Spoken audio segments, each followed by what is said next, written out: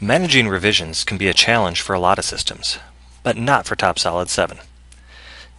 This is because TopSolid 7 is based on product data management. Let's have a sample. Here, we went and found the inferior plate. We're going to go ahead and check this plate in, and then validate the design, thus closing the major revision. From here, we're going to go ahead and create a new draft document. We'll quickly place our views how we want them.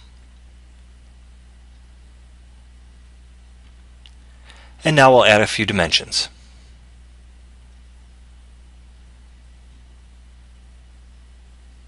Perfect. Next, we'll go ahead up and document the current version. When we double click on this table, you'll notice that it looks like Excel. I say looks like because it's not really Excel, but it gives you all the power of Excel. So here we're going to enter the date, the author of who created this, and any comments that are relevant to this revision.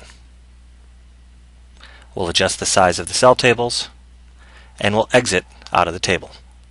Perfect. And like that, we'll go ahead and check in this draft document. Now we're going to see what happens when we make a design change. The act of creating anything in this document, such as a new sketch, will automatically make TopSolid 7 create a new major and minor revision. And you can see it here in the tree. So here we'll go ahead and add our sketch. We'll create a pocket Maybe we'll change the, uh, the through condition to be through. We'll validate.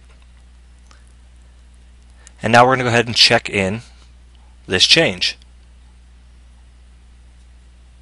Now let's go see what happened to the draft document. Here you can see the draft did not automatically update. This is because we don't automatically update to major revisions. You have to tell it to do so. And by a simple right click, we have now just done that. Now let's go ahead and add a dimension for the pocket. And now let's go ahead and update our revision table up in the top corner.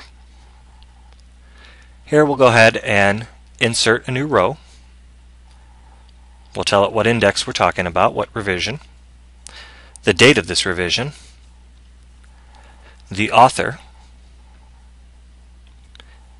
and then what was done in this revision with a brief comment.